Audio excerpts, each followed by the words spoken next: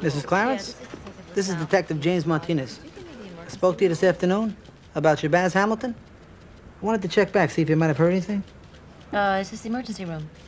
Uh, yeah, this is Detective LaSalle with the 15 Squad. I wanted to check back, see if you treated a black male, 5'7", 150 pounds, for any injuries might be related to a fall. He gets returned to uh, This custody. is Detective Medavoy. Yeah, I know. I just wanted to check back. Uh, Yeah, okay, yes, yeah, thanks. Kelly. Thank you. Possible related to a fall uh, on a, I think you said black male. Dispatcher? Yeah, Kelly. in the last four Mhm. We'll put it over the air again. Okay, let me make this simple for you, okay? Any cabbie that made a pickup in the vicinity of the precinct. All right, if you can think of anything, give me a call. Uh huh. Well, maybe somebody was on a break. Right. Thank you. What'd he do, fall down a rat hole? Yeah, well, at least we know he'd be comfortable. Easy, Mr. Butler. Now take it easy. Get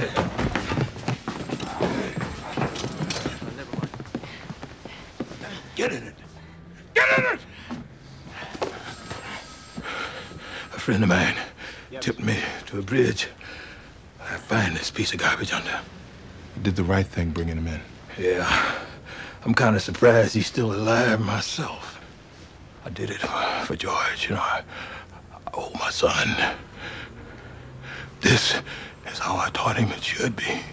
And I can't betray my son by, by going against what I taught him. Your son would be proud of you now.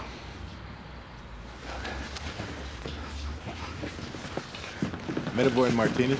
Take care of the prisoner in my office. Sure, Lieutenant.